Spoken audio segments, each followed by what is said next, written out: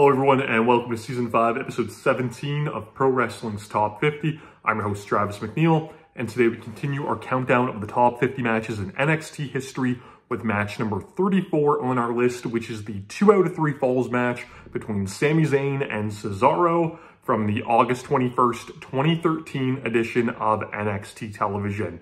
Uh, you know, doing this countdown, I, have got plenty of what I feel are hidden gems scattered throughout this countdown. Um, and then I also have matches like this one where if you know I'm going through the top 50 matches in NXT history, it's one that you would expect to be on that list. This is a very famous match. Um, you know, for a lot of you, you might feel that, yeah, I'm maybe, you know, putting on the low end of, of the ranking and maybe would have expected to see it a little bit higher. Um, but we'll talk about that as we go. Um, this match to me is maybe the most important match in NXT history, even if it's not the best. Uh, this is the match where it felt like everything changed for NXT and it really started to click. So up until um, really the debut of Sami Zayn, um, you know, NXT, it had that developmental feel to it, you know, coming out of the ashes of FCW. Uh, you know, we didn't have every independent wrestler with any sort of a buzz getting signed at that point. So you had some wrestlers, you know, and I'll use uh, Neville uh, or Pac, you know, as he's now known, uh, as, a, as a great example where, you know, he was somebody that was brought in with all of these high flying gifts and he would still, you know, utilize them. But, you know, you could see him changing as a wrestler and adapting more to that WWE style and, and you know, I'll, I'll say it being forced to work that way. So when Sami Zayn was brought in, uh, you know, you kind of felt like maybe it would be the same thing. And I remember um, his debut was awesome. Uh, I was working, uh, but I, I, made it a point, you know, to take my break from work when NXT aired, uh, so I could, you know, watch his debut. Um, that, you know, that everybody's talking about it on Twitter. Um, you know, it was very exciting for independent wrestling fans that this dude, you know, I'll say El Generico, right? Um, you know, who is universally beloved by all of us. Um, that's someone that never, you know, I don't think anybody's really expected, at least at that time, for a wrestler like him to make it to the WWE, even though he was so deserving to do so. Uh, it, hell, I, am Canadian, um, so, you know, in the early 2000s, basically my home promotion, I'm, I'm not from Quebec, uh, but my home independent promotion felt like IWS out of Montreal, which is where, you know, Sami Zayn really got his start. And I remember, you know, those early El Generico matches, um, you know, people reviewing them and, calling him, you know, a backyarder and, and stuff like that because of his look. So to see, you know, this dude literally grow from that into a WWE superstar, you know, was, was quite the journey. Um, you know, as a fan for me to even sit by and watch. So, you know, when they were bringing him in and, you know, without the mask, he's basically, you know, Stevie McFly again or, uh, uh, you know, um, uh, Big Larry from T Unit or, you know, whatever, whatever Montreal indie, you know, character that he played at one point or another that you want to consider him. Um, you know, I, I, wasn't sure how it was going to go. So we had the memorable debut. Uh, he beat, I, am pretty sure Kurt Hawkins or, or, Brian Myers in like a relative squash, got challenged by Cesaro and beat him in an upset as well. Uh, so this would eventually lead to the two out of three falls match where Cesaro, you know, said it was a fluke that he lost. Uh, and he would prove it because there was no way, you know, Sami would beat him twice, uh, two falls. Um, this match, it, it's great. Like, don't don't get me wrong. It is a, a great, super fun television match. Um, the historical impact that this match has is outrageous because this is the match where it felt like these two guys were really allowed to be the two guys that they were before the WWE. This is a match very similar to, you know, something that they would have had in Ring of Honor or Chikara or Pro Wrestling Guerrilla or WXW in Germany or wherever, you know, they've met up prior. Um, it, it really feels that way. Uh, and from there, I feel like this is the match where we would start to see that shift in NXT where it would eventually start to become WWE's version of an independent promotion where they would sign all the hot indie guys and they really wouldn't lose much, you know, from what they were before they got signed. Um, you know, and I feel like everything can be pinpointed back to this match as being that change. So it was so historically, you know, impactful, uh, you know, in, in the overall scheme of the WWE and NXT in general. Um, why does this match hit on the list at number 34? Um, it's lots of fun, but there are way better NXT matches than this. Uh, these guys, uh, I've seen them, you know, have better matches than this, you know, prior to NXT. I've seen them have a better match than this one in NXT, but that's something we'll talk about another time. Uh, but as it stands, the match is an absolute blast. Still, you know, super worthy of inclusion on this list. Uh, but I feel like, you know, it's it's kind of put on a little bit of a pedestal and championed by so many people because of that historical impact that it had.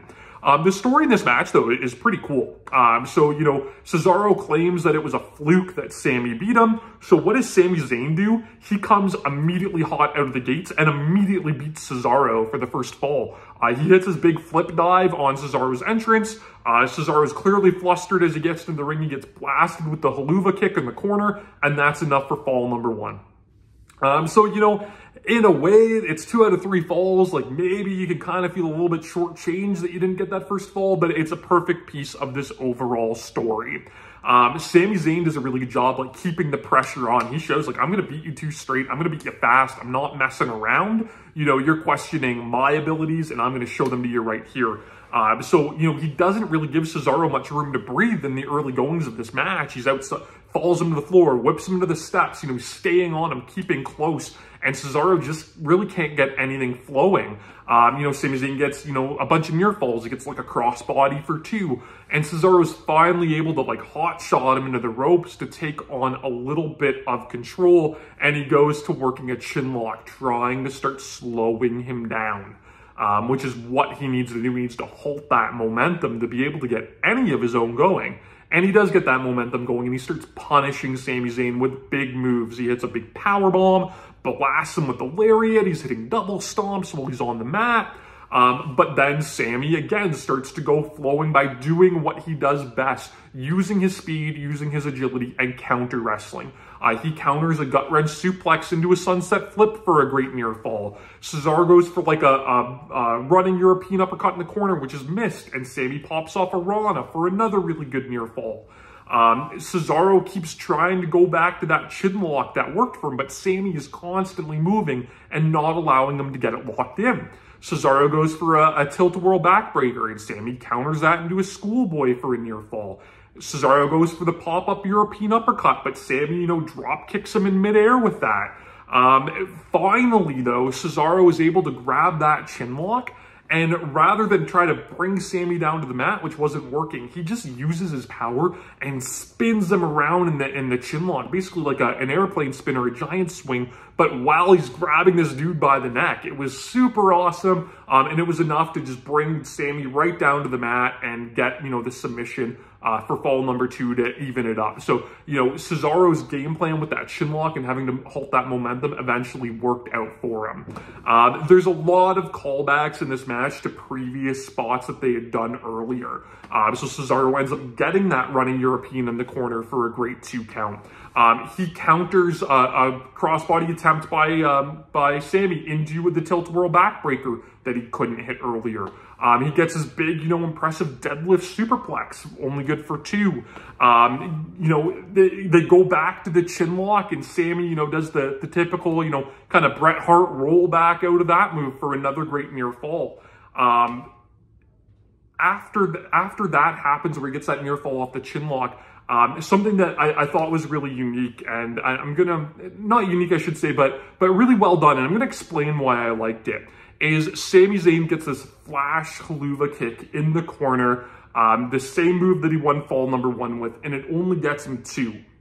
So sometimes when I'm reading reviews of wrestling on the internet, I see people criticize when a move, you know, especially in like an Iron Man match or a two out of three falls match or something along those lines, that a move that gets a fall early in the match, with the exception of a submission, right? Because, you, you know, you might want to tap out quickly to not weaken your limb or, or whatever.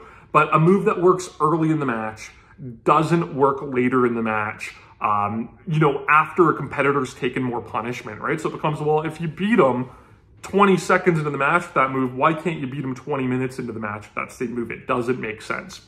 Uh, well, there's a couple aspects at play, and I'm, I'm going to, you know, kind of debunk, you know, that, that criticism that people give. Um, so one, adrenaline is a huge thing. Uh, whether you choose to believe it or not, you know, we see fighting spirit and stuff like that all the time in wrestling.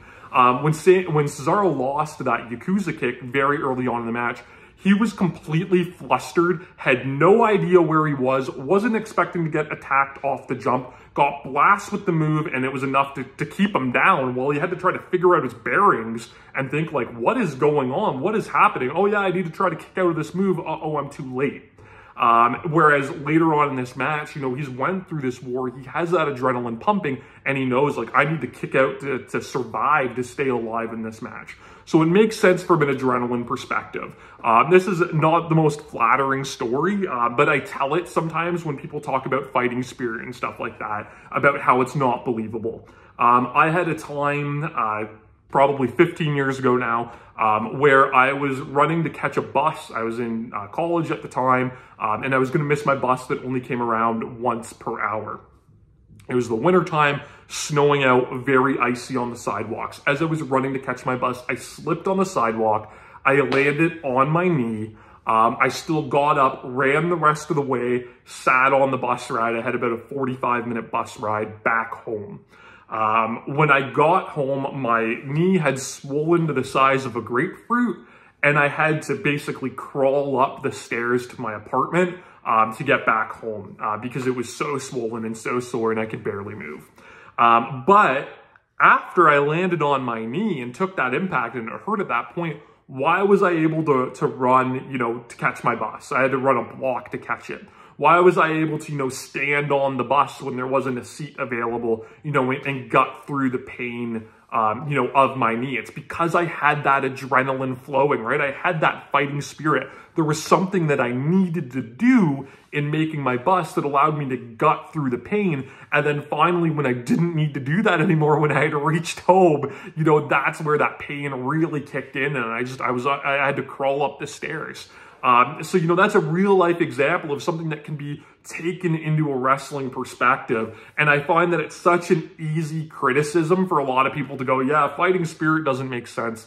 Um, but it does, you know, to a, to a certain point. The other uh, thing that I'll mention with it being a Yakuza kick is think about MMA. So, I mean, it's a little different. You drop someone on their head with a pile driver or a power bomb or, you know, whatever, right? But you have strikes that are always going to connect to different levels, right? You could get punched in the face twice in the exact, you know, same way from the same person, and one you could absorb, and one, you know, if you take it on the chin a little bit better, could completely drop you. So because Sami's move is the Helluva kick, that corner running Yakuza kick, you know, maybe he hit it a lot more flush and a lot better at the start of the match than he did late in the match. So if any move is going to be used for a spot like that, a strike makes perfect sense. So I love it. I think it added to the overall aspect of the match with it being that callback. Um, I've seen it critiqued, doesn't bother me in the slightest, and that's why. Um, but regardless, we got this great near fall off of it where you think it's the finish because it was used earlier. Um, they hit two of their biggest spots that these guys do together in this match. Um, so one is the cascading code red, where Sami Zayn basically comes up over the top of Cesaro, catches him, you know, legs through the arms and hits that Yoshi tonic or code red down the other side. Um, Cesaro takes that, he's such a good base for high flyers and he takes that move so well. Uh, so they bust that out here for a great near fall. And then we get the debut of one of Sami Zayn's most unique moves, coolest moves. I call it the thread the needle DDT. Um, that move where he's on the floor and he runs and hits the dive, you know, between the bottom and middle turnbuckle through the corner post and turns it into the tornado DDT. That move blew my mind when I first saw him do it back in 2004, I think it was. Um, I, I want to say against the Human Tornado at a Jersey All Pro show, if I remember correctly. Um, but to see it done on WWE TV was just so unbelievably cool. And like I said, that move, even in a way, kind of felt like a little bit of that tipping point of like, let's let the indie guys be the indie guys that we signed them for because they're going to connect with the crowd and all of those, you know, preconceived notions against, you know, independent wrestlers doing too much or being too small really seemed, at least for a little while, um, to, you know, really leave that mindset of the WWE through NXT.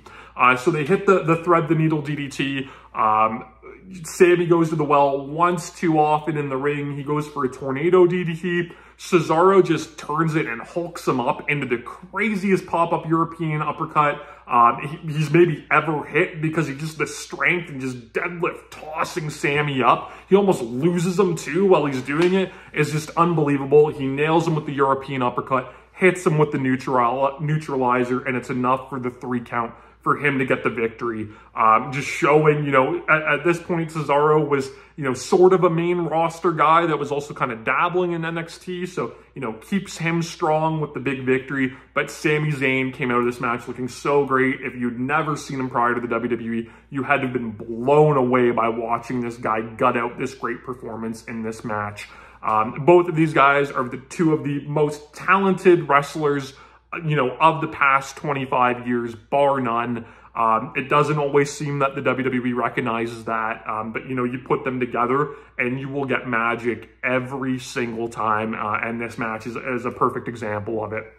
Um, you can find this one. Uh, it's available for free on YouTube, which is super cool. I'll link it on my Twitter account, uh, but you can also watch it on Peacock or if you're outside of the US on the WWE Network, of course. You can subscribe to my channel here on YouTube so that you never miss a video. Follow me on Instagram and Twitter at Wrestling50. And please join me again tomorrow as we continue to count down Pro Wrestling's Top 50.